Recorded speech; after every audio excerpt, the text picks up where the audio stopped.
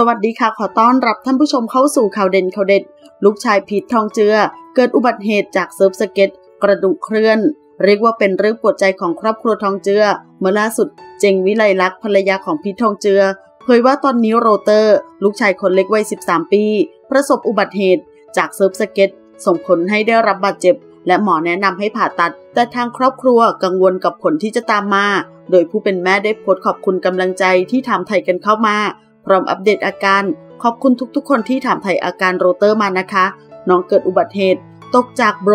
สะโพกกระแทก กระดูกส่วนที่เป็นโกรเพดตรงหัวสะโพกเคลื่อนทำให้ขาข้างที่บาดเจ็บ ลงน้ำหนักไม่ได้ คุณหมอให้พิจารณาผ่าตัด แต่ครอบครัวเรากังวลเรื่องผลที่จะตามมาหลังการผ่าตัดมาก เลยยังอยู่ในช่วงศึกษาหาข้อมูลการรักษาอยู่ค่ะ ขอบคุณทุกคนที่เป็นห่วงนะคะ ตีบอกตีโอเค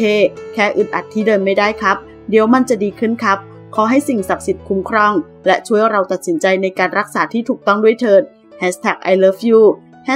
ตีน้อยของมีขอขอบคุณข้อมูลจากข่าวสดขอบคุณค่ะ